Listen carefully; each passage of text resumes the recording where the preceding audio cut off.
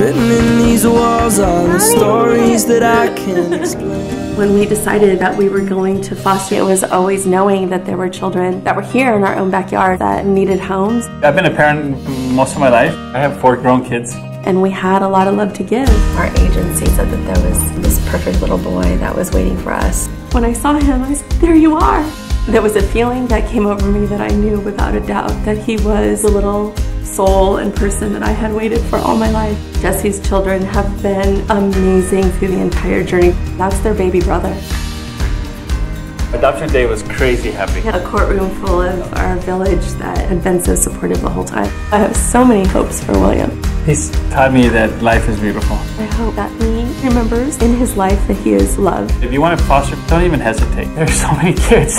Make fostering part of the story of your life. Visit fostermore.org to become a mentor, a parent, a friend.